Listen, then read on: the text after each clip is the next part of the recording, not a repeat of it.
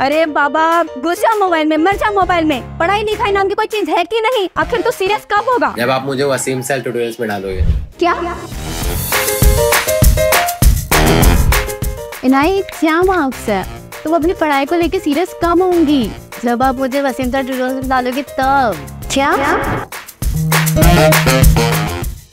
दिन रात क्या सोता रहेगा? आखिर पढ़ाई को लेकर सीरियस कब होगा?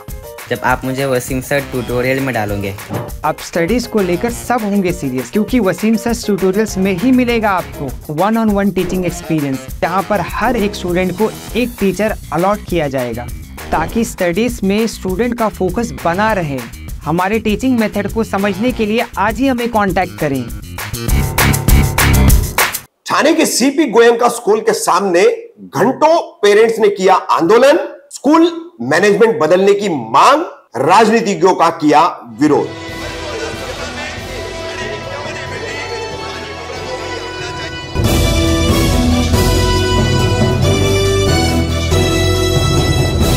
रफीक कामदार, हिंदुस्तानी रिपोर्टर में आपका स्वागत है। ठाणे पश्चिम स्थित कापुरवाड़ी परिसर की प्रख्यात सीपी गोयंका स्कूल। इसी स्कूल की घाटकोपर किडजानिया पार्क में पिकनिक जाती है। चार बसें इसमें। एक छात्र से सोलह सौ रुपए लिए गए। और पिकनिक में जाने के वक्त निजी बस के अटेंडेंट ने लगभग आठ से दस दूसरी और तीसरी की छात्राओं का शील भंग किया। उनके साथ अश्लील हरकतें की। एक छात्रा ने अपने पेरेंट्स को बताया और उसके बाद जानकारी मिली कि लगभग आठ से दस छात्राएँ शिकार हुई है। तो इसी को लेकर बुधवार को स्कूल के मैनेजमेंट के साथ। पेरेंट्स की काफ़ी घमासान चली। पेरेंट्स ने घंटों यहाँ पर आंदोलन किया। वहीं गुरुवार 22 फरवरी को भी सैकड़ों पेरेंट्स ने यह आंदोलन कायम रखा। किस तरह से बुधवार को सीपी गोयंका स्कूल के सामने यह आंदोलन किया गया? इस आंदोलन के दौरान अलग अलग राजनीतिक दलों के लोग आए। जिसका पेरेंट्स ने विरोध किया और सिर्फ़ इक्का दुक्का विधायक संजय केलकर जैसे विधायकों से ही उन्होंने बात। उसके बाद पेरेंट्स के एक प्रतिनिधि मंडल की और स्कूल के ट्रस्टियों की बैठक हुई। बैठक होने के बाद में ट्रस्ट ने अन्य तीन और शिक्षक तथा अधिकारियों को निलंबित किया और उस तरीके से लिखित दिया। साथ ही जैसे हमने कल ही की खबर में बताया था कि उन्होंने एक इंटरनल कमेटी बनाई है जाँच के लिए और उसके रिपोर्ट के आधार पर आगे की भी कार्रवाई करने का पेरेंट्स को आश्वासन दिया। लगभग नौ घंटों तक पेरेंट्स ने सीपी गोयंका स्कूल के सामने यह आंदोलन किया और फिर चर्चा के बाद में तीन और लोगों को सस्पेंड करने के बाद पेरेंट्स ने यह आंदोलन खत्म किया।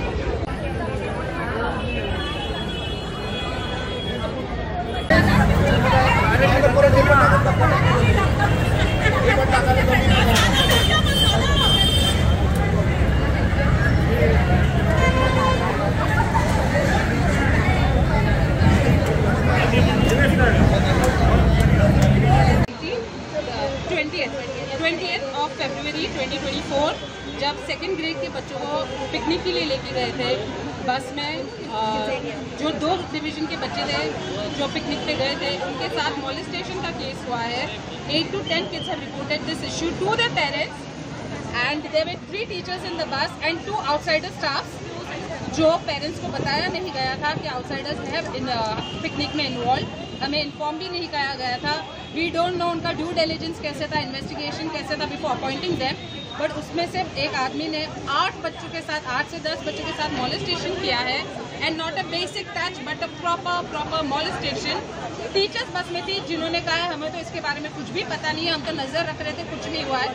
आठ बच्चे झूठ नहीं बोल सकते। School administration is denying this incident. Yes, so the what are your demands? Denying, the teacher is denying. The management is accepting only the negligence of appointing a third party, and they are blaming all the entire issue on the third party. They are accepting the negligence, but accepting the crime. They are like इसमें इस the principal and the management clearly said that ये किसी के साथ भी हो सकता है कहीं पे भी. So that was the response we got किसी के हो है. Now are you filing case against the administration? Yes. So we have demanded resignation of the teachers involved, the management and the principal. Alongside, we have also filed an FIR against the criminal attached. We are filing a FIR against. In the same case, we are filing an FIR. We are attaching the names of the management teachers.